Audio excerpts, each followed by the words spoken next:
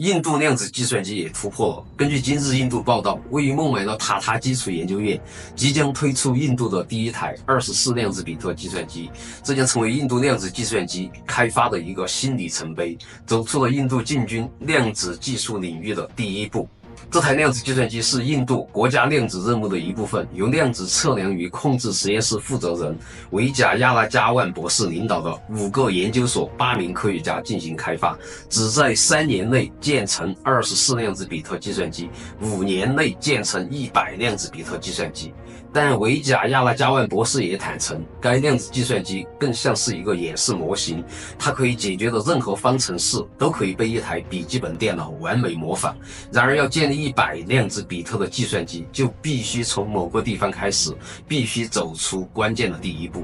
从公布的几张照片来看，印度这台量子计算机应该是超导量子计算机，这也是各国发展量子计算机的首选。大部分资源和资金都投入了这种研究。目前正在开发的量子计算机主要有五种，被认为最有潜力、最有可能成功的是超导量子计算机和离子阱量子计算机。第一，超导量子计算机利用超导体在极低温环境下的无电阻特性来实现量子比特，是目前最为成熟的量子计算技术之一，已经在特定任务中展示了量子霸权。超导量子计算机可扩展性好，退相干时间较长，领先公司是 IBM 和谷歌。二离子阱量子计算机通过电磁场将带电原子或离子困在空间中，并使用激光来操控其量子态。其特点是量子比特质量高，可操控性强。领先公司是 IonQ 和霍尼韦尔。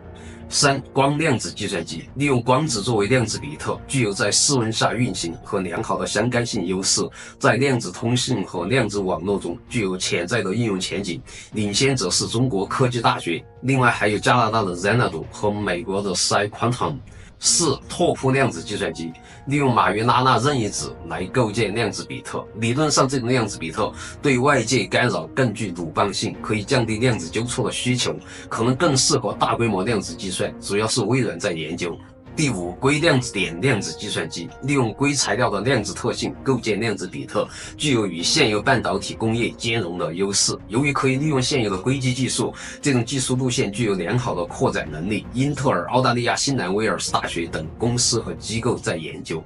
这五种技术各有优势和弱点。总的来说，超导量子计算机和离子阱量子计算机可能最有希望，尤其是超导量子计算机在量子比特数目和量子纠错方面都取得了较大的进展，被认为是最有希望实现短期突破的技术路径。而离子阱量子计算机则因其高精度和长相干时间，可能在需要高度精确的量子计算任务中发挥重要作用。但超导量子计算机需要在接近绝对零度的温温度下运行，对硬件设施的要求非常高，增加了系统的复杂性和运行成本，同时还容易受到噪声和外界干扰的影响，需要复杂的纠错算法来维持量子态的稳定性。而离子阱量子计算机虽然操作精度高，但随着离子数量的增加，控制和操纵变得更加困难。另外，离子间的相互作用将可能导致系统不稳定，因此将系统扩展到数百、数千个量子比特的规模，仍然需要克服技术障碍。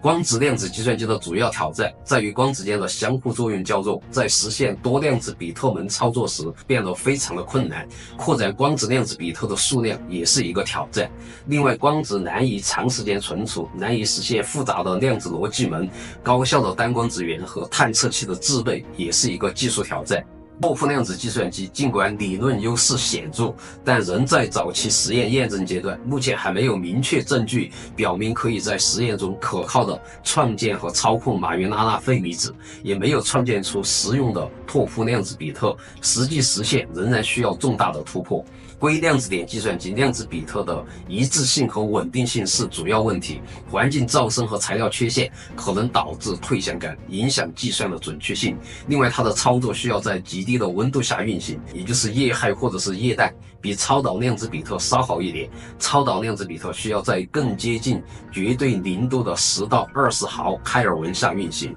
随着印度建成第一台超导量子计算机，目前世界上可能已经有十多个国家和地区开发出了超导量子计算机。台湾中央研究院今年年初也开发出了五量子比特计算机，但这种量子计算机需要特殊的稀释制冷机，冷却到几乎达到绝对零度才能运行。所以，即使最有潜力，要大规模应用也是巨大的挑战。量子计算机可能还任重而道远。